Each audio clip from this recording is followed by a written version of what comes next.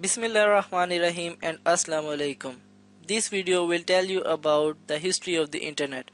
Today we live in a world where people and the machines work together, regardless of the geographical restrictions. While sitting at our homes, we control our businesses. Sitting on the earth, we control the satellites far off us.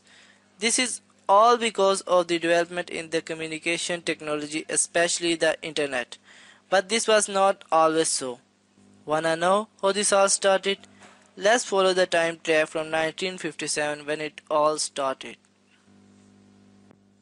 Now let's imagine your life without internet. If we have had Google at that time, how would it look like? It will take 30 days for our search querying. In 1957, the remote connection between computers was established. By this connection, developers worked directly for the first time. In 1957, idea of time sharing was proposed to share the processing power. In 1958, the DARPA was established. DARPA is Defense Advanced Research Project Agency. DARPA further developed ARPANET, the Advanced Research Project Agency Network. ARPANET developed IMP, Interface Message Processor. Now, the Network Working Group developed NCP, Network Control Protocol. And later it is transformed into TCP, which we know by Transmission Control Protocol. Packet switching idea seems to have an idea that wanted to be discovered. The packet switching concept was first invented by Paul Baran in the early 1960s. In 1962, the American Fairchild aircraft discovered missiles in Cuba. At the, at the time, there was only centralized architecture, which we know by star topology. So a decentralized network was to be developed. So, so the distributed network is to be used. In 1964, Cyclades have fewer nodes, so they tried to interconnect nodes, and the term Internet was born at that time. The ARPANET's TCP protocol was to connect computers through gateways. So the TCP IP protocol was developed to guarantee communication between network and this leads to WWW, the World Wide Web. In 1964, the RAND Corporation published a report describing a network that divide message into segment and each segment traveling independently. In 1967, Donald Davies named the idea of dividing message as packet switching. ARPANET facilitated the first packet switching between four universities, and these universities were UCLA, Stanford Research Institute, UC Santa Barbara, and the University of Utah. By this network, four computers were connected. In October 1969, first message was sent over ARPANET, and that was just login.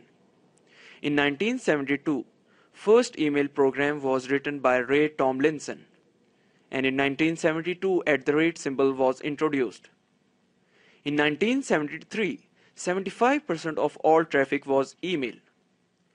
In 1974, the term internet was first used.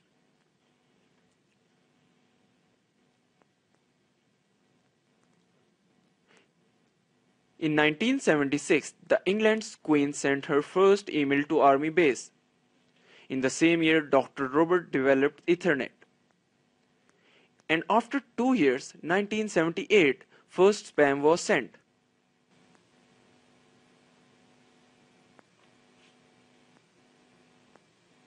Eighty one Computer Science Network CSNet created a 56 kbps network.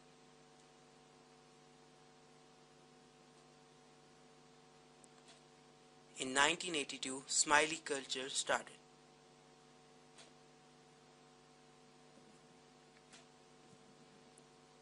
In 1984, domain name service was implemented. First .com domain was introduced.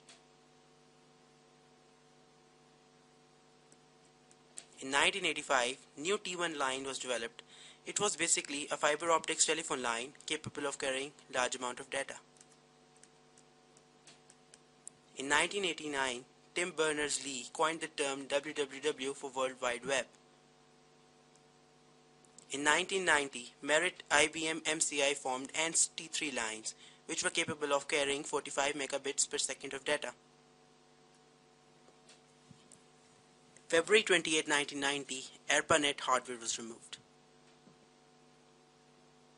In 1991, the National Science Foundation NSF established a new network, NREN. In 1992, World Wide Web released by CERN. Pakistan also won the World Cup. In 1993, Mosaic was released. The first commercial software was launched that allowed graphical access to user on internet. It was first internet web browser. In 1994, UK's first cyber cafe was opened. Next year, Amazon.com and eBay.com were launched. They both are largest online retailers. In 1996, Internet Explorer and Netscape Navigator were launched. Internet Explorer was offered as a part of Microsoft Windows. In 1998, Google.com was launched. Google.com offers web searching, cloud computing, and advertisement business. In 2000, there was a dot-com bust. It means largest dot-com domains were registered at that era. In 2001, EasyNet was UK's first company that provided DSL over unbundled local loop. In the same year, Wikipedia.org was launched.